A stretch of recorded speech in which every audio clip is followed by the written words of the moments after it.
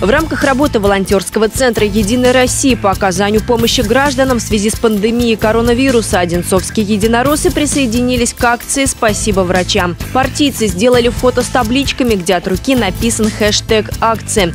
Главная цель этого флешмоба – поддержать медиков, которые героически трудятся в условиях борьбы с распространением коронавирусной инфекции и выразить им благодарность.